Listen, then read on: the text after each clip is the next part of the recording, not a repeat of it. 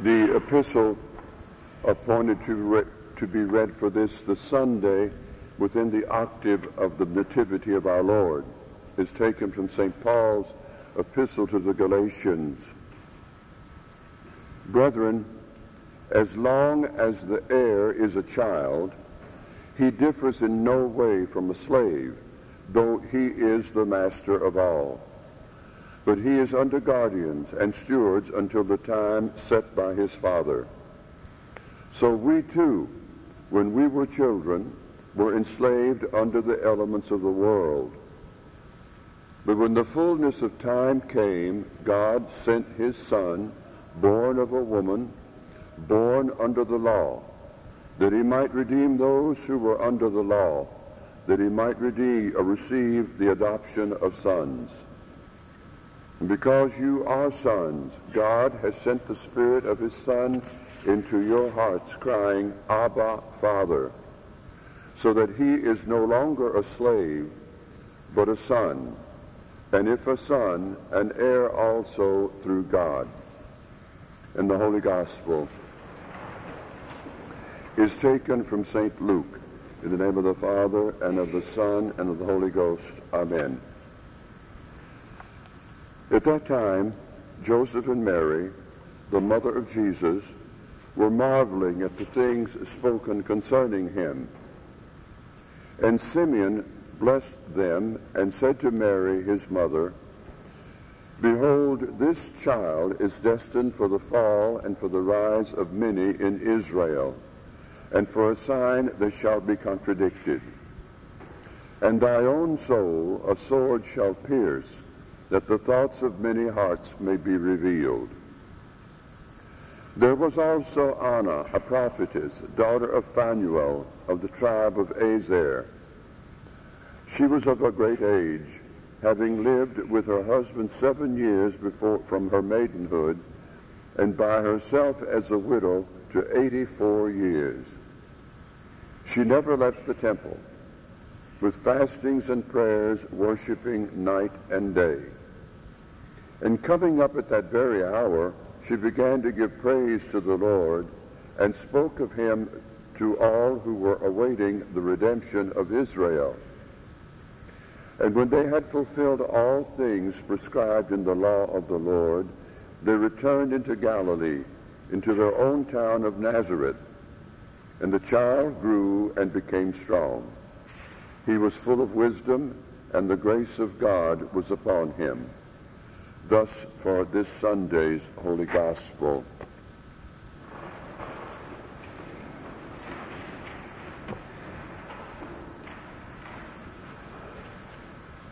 There is nothing in particular this morning uh, that in the bulletin to draw attention to, perhaps the only thing being that there will be no catechism class this morning. In the name of the Father, and the Son, and the Holy Ghost, Amen.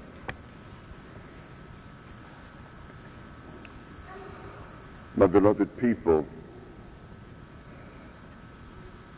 we have now reached yet another milestone. And as we approach this particular milestone this year, we approach it not too differently than ever before, but certainly with a lot more concern. And we approach it with much fear, too, and apprehension. Not being able to see clearly, though we know clearly, that that which is in store for us is certain, but not quite known. And we approach it with fear and anxiety. We don't know what to do about it. And so we worry. To wish happiness at this time, at this particular time in the history of man, as we normally do, is uh, perhaps not quite as heartfelt as it has been in previous years.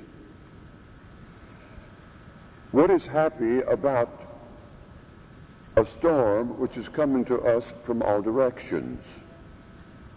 We fear and we look and we tremble because of the gravity of the situation.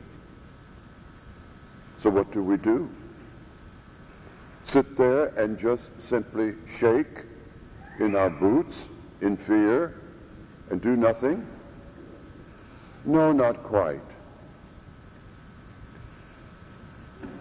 You know, every year that uh, we have much to say about New Year's resolutions. They're really not worth the time that it takes to utter them. Everybody makes New Year's resolutions, but nobody can keep them beyond two or three or four days, maybe a week at most, and then it's over and forgotten about until this ceremony takes place again next year. And we don't really grow. We don't really change. We don't really fructify as a tree does or grow into an age of fructification as a tree does. But we remain stunted. Nothing seems to change. We want to become saints. We say that, don't we? All of us want to become saints. We've made a decision, haven't we? That we want to become saints. But how serious is this decision that we have made?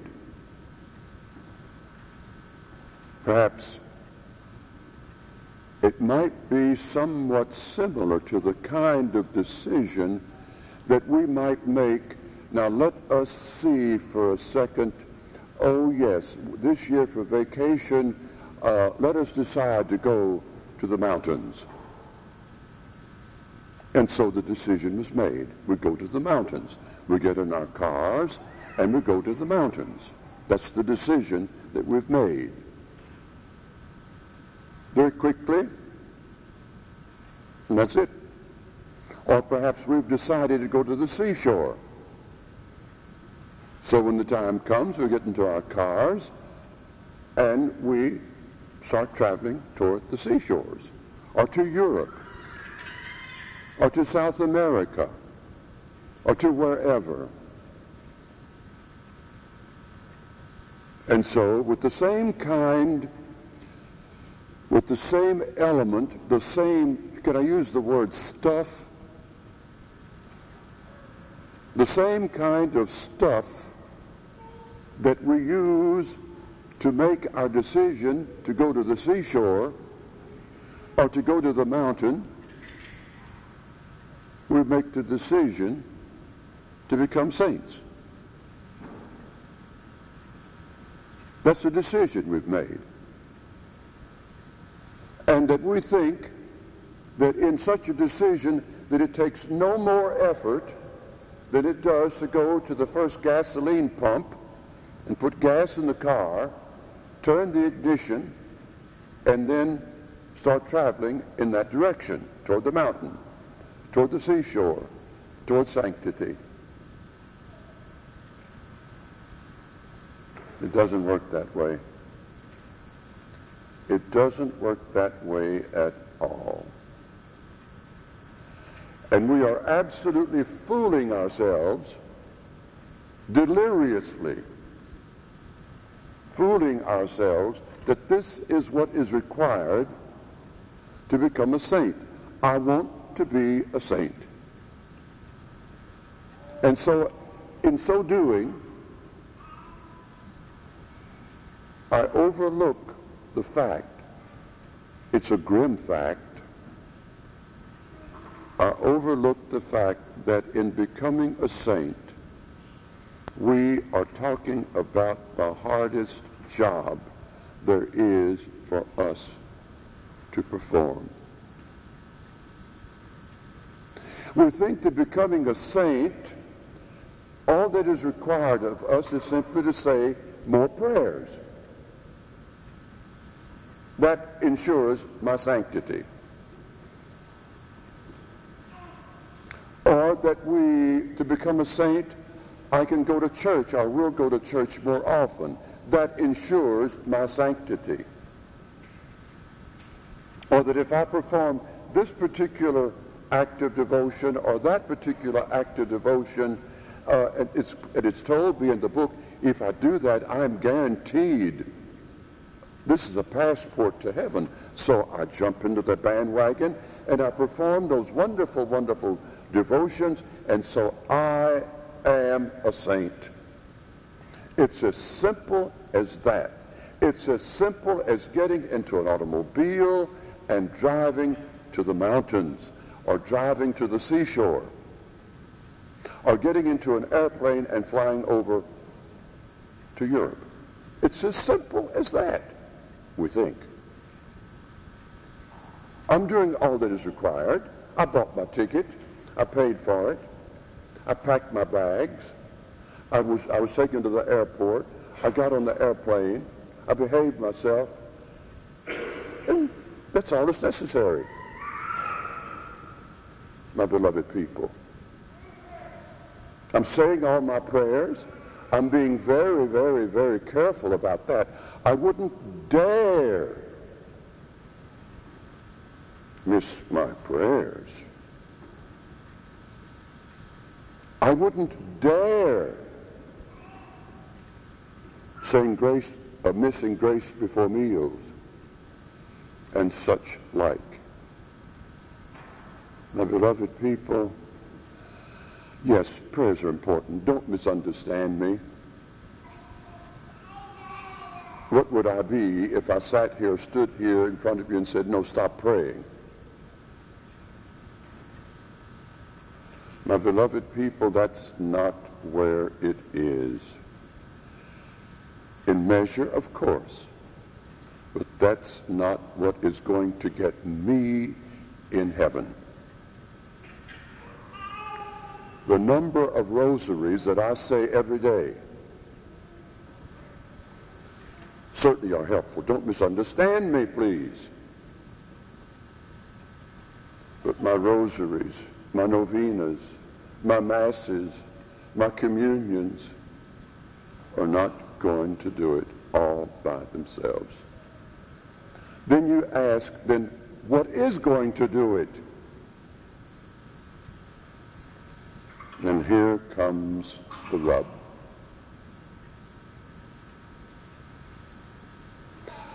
I'm at the base of the mountain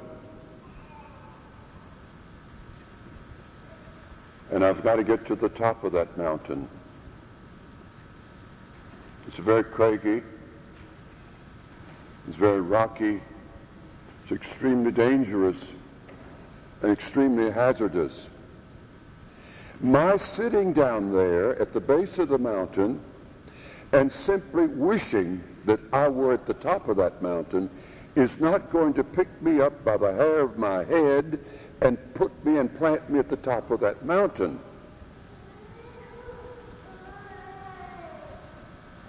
That will have absolutely no effect, whatever, on the distance between the bottom of that mountain and the top of that mountain.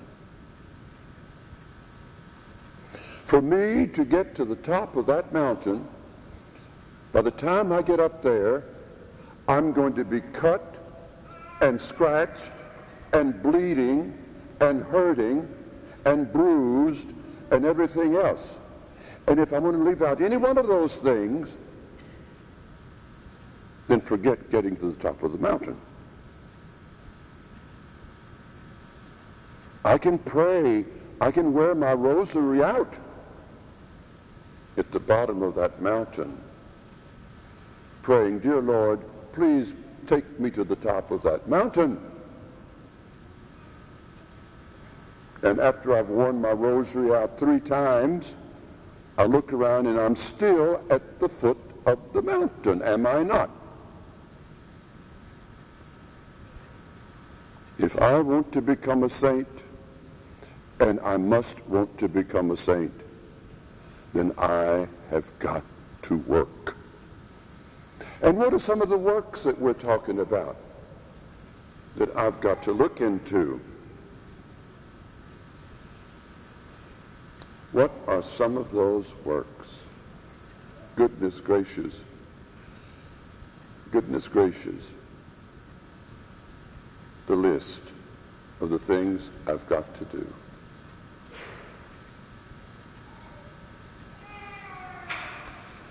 My addictions.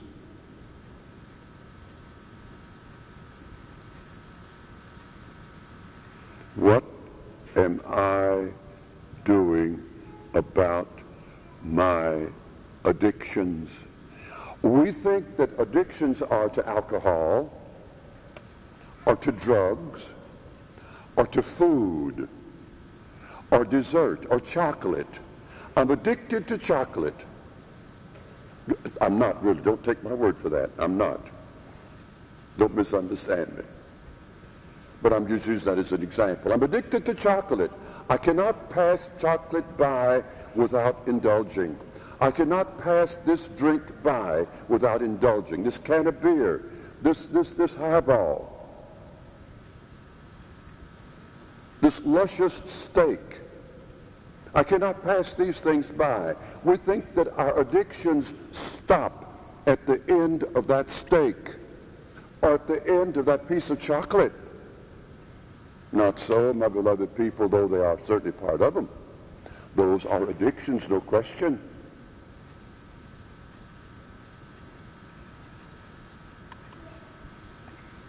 Now comes the list. My addiction.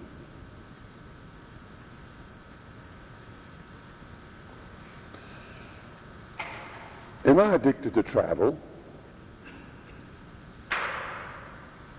Yeah? I've got to be going someplace all the time, all the time, all the time, all the time, all the time. Come home, turn around and go back. Come home, turn around and go back. Come home, turn around and go back. Is that not an addiction?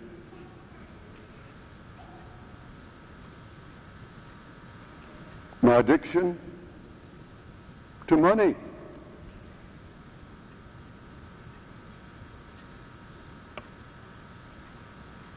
In some cases, this is extremely serious. It's an obsession. Money. I've got to make that profit money.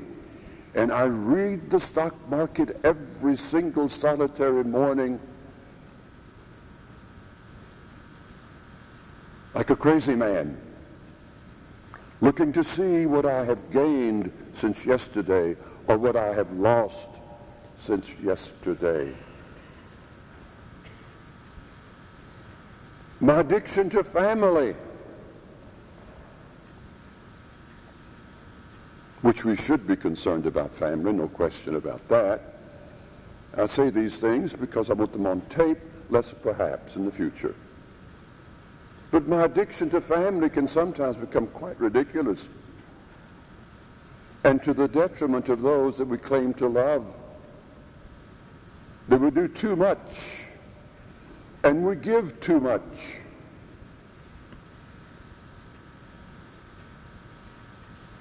My addiction to noise in the house.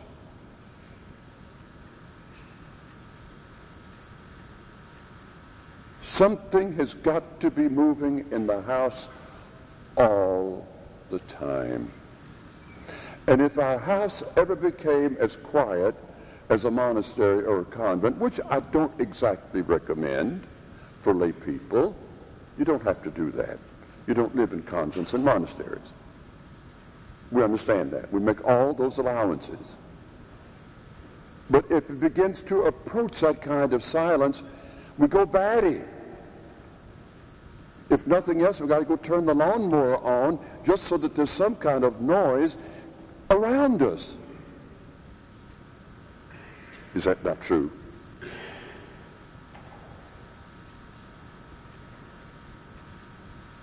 Our addiction to automobiles.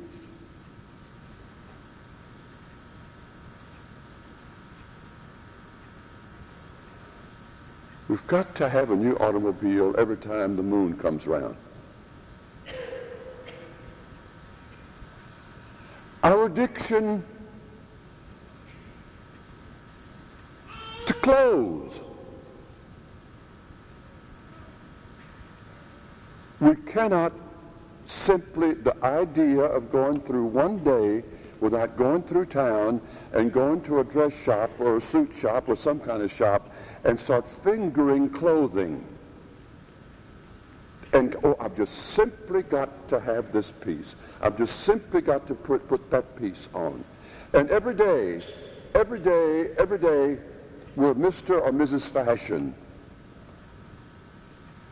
That's an addiction, is it not? And yet, in all of that, we could go on and on and on. And yet we say, we want to be like our Blessed Mother. And we want to be like St. Joseph.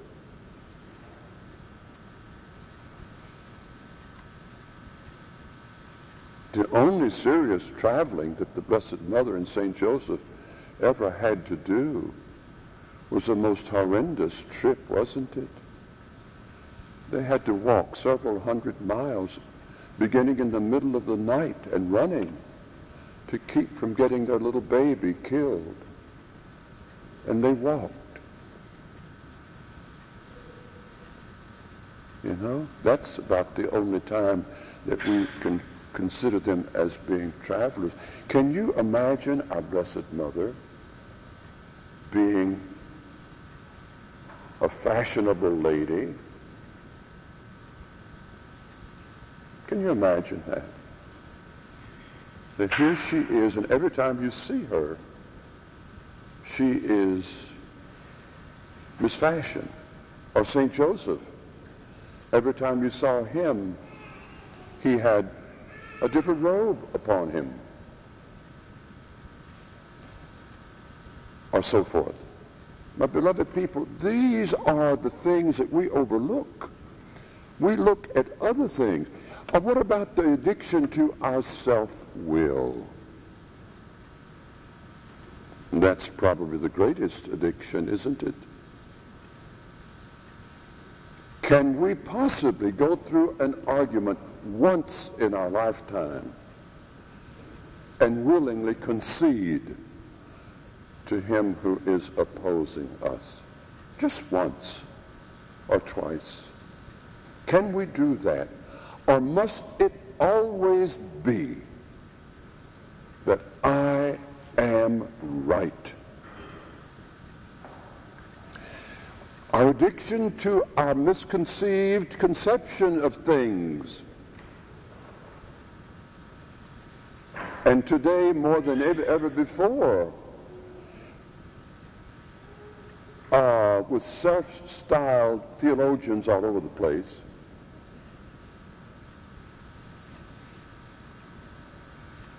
that we are addicted to a Catholicism that is not necessarily what somebody before us had in mind. These are all addictions that we would do anything rather than change.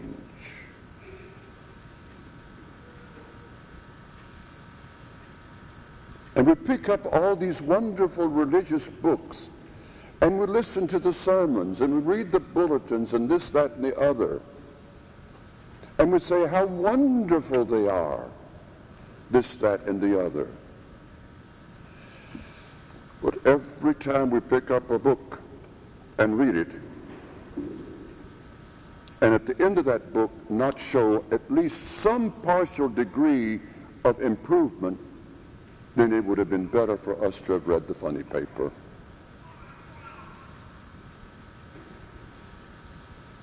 And in the teaching of our little children, what addictions are we addicted to in the teaching of our little children? What are we presenting to them?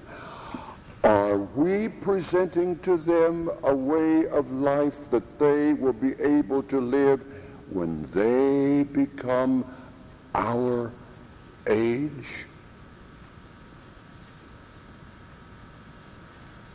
My beloved people, next year, you know, first before I say that, it is not much, it is not often that one priest stays in one location more than six, seven, eight, ten years. It's time for him to move or be moved. For various reasons. Not bad reasons, but various reasons. Just good administrative re- reasons. But it is rare that one stays in one location 25 years. And next year I will have the, the great grace, if God permits it, to be in one location for 25 years. And during that period of time, 25 years is a long time, I have seen babies born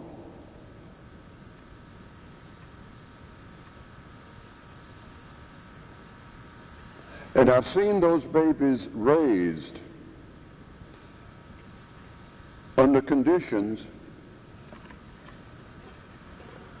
that are just a little much, to put it nicely.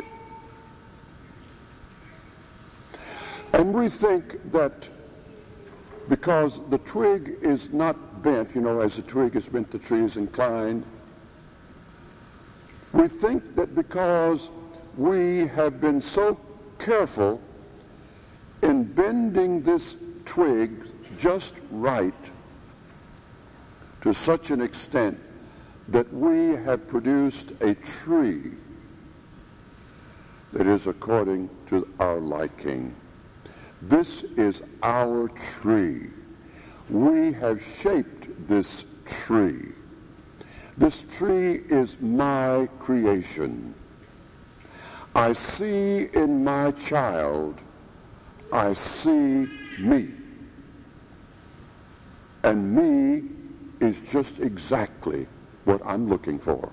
God forbid. So the tree grows and shapes.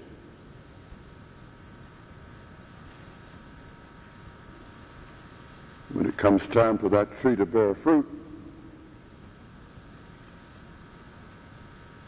because we have done violence to it, and so much violence to it, by our own foolishness and preconceived ideas about what a proper tree should be trained like, that the tree simply is sterile.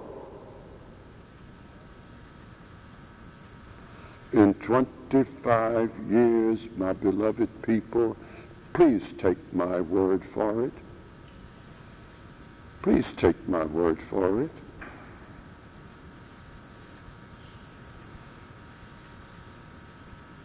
I've seen magnificent little children.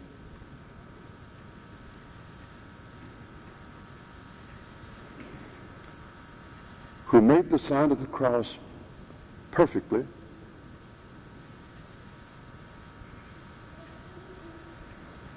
Who when they went to first, when they went to Holy Communion, sanctity glowed from their magnificent, innocent little faces.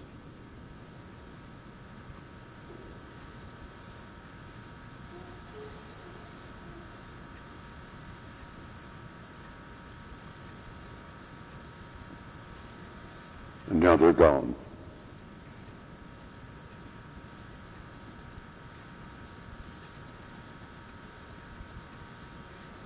never to return.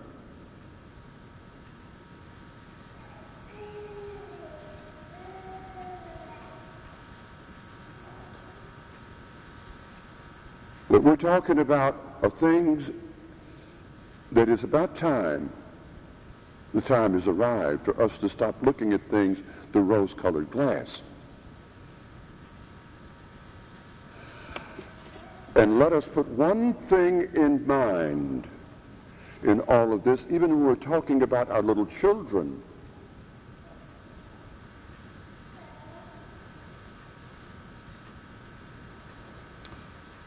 For the grace of God, the superabundant grace of God, I would not be standing in this spot at this moment. And but for the grace of God in superabundance, you wouldn't either.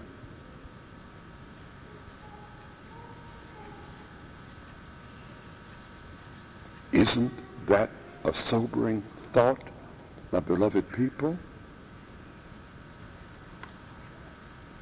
I am here because Almighty God has picked me up and has put me here. Not only has he put me here, he is holding me in place. Because if he turns loose for one brief second, I'm gone.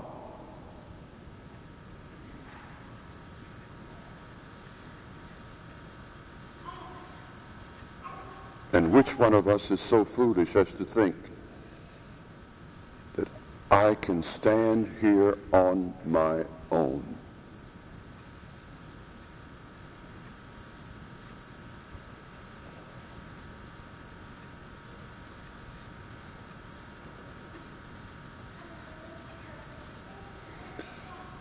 The road to sanctity, my beloved people, demands, please, it demands the hardest possible work imaginable.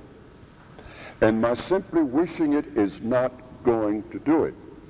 And my simply talking about it is not going to do it. And my simply teaching it is not going to do it. For me to reach sanctity demands the hardest kind of consistent work, not high points today and low points tomorrow. There are those people that today can be at the very peak of holiness. Oh, merciful heavens, what peaks of holiness some people can reach at the flash of an instant. Turn the switch on and they are holiness itself. You see them 10 minutes later and they won't even look at you.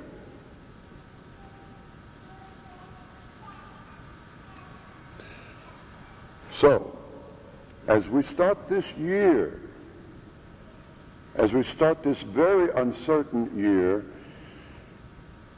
we speak, let us speak of the kingdom of God on earth. We think that the kingdom of God is here on earth. No. Didn't our Lord say something like, uh, the prince of this world if so and so is the prince of this world, how can our blessed Lord himself be the, how can this be his kingdom? Then where is his kingdom? His kingdom is in my heart. And unless it can be established there, the way he intends for it to be established there, then all of my efforts, I've given myself up to be, my body to be burned. I've given up everything and given to the poor. I've done everything the law has asked of me to do, but I have failed. What a tragedy. All the bankruptcy in the world that we can talk about or think about, all put together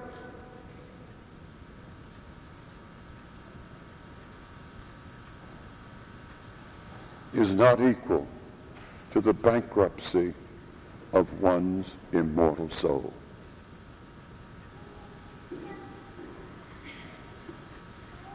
So therefore, with these very cheerful thoughts in mind this morning, I wish you the best. I wish us the best. And prayer and preparation is the only thing that you can do, that I can do, in being ready for whatever is outside, for whatever explosion can be outside, for whatever threat can be outside. Our prayer can be our protection. It will encase us in a wall of safety. My beloved people, I would like for you to kneel so that I can give you a blessing, that this blessing, my beloved people, will be from us to you. And, and in your turn, put this blessing back upon us. That this blessing will follow us. As weak as I am, and as unworthy as I am, I call upon God to put enough power in my arm to keep you and us safe in the days to come.